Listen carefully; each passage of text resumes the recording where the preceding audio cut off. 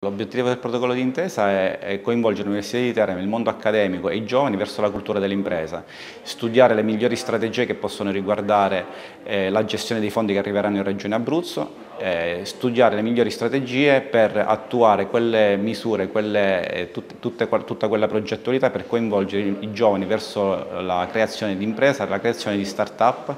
e cercare di creare per loro un mondo ideale, un ambiente ideale per eh, poter eh, raccogliere le loro esigenze verso il futuro e verso le nuove idee che loro andranno a produrre. È un, eh, un, contenitore, un contenitore che starà a noi eh, riempire eh, quotidianamente grazie anche all'interazione eh, mm, con, con, la Regione, eh, quindi la possibilità di intervenire nella programmazione 21-27, la possibilità di dire, promuovere delle idee progettuali per quanto riguarda il recovery plan e altre possibilità di ehm, finanziamenti competitivi la possibilità di formare, di formare quindi non solo i nostri studenti ma anche eh, le aziende, quindi una, un servizio ulteriore per il, il territorio e eh, la necessità di fare, di fare, rete, quindi per eh, far eh, emergere eh, quella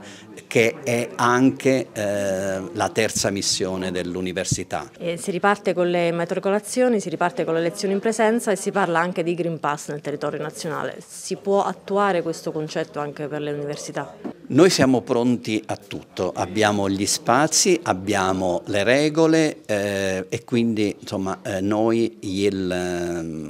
all'inizio del, del primo semestre ricominceremo in presenza, dando ovviamente possibilità a chi non può di eh, seguire eh, online.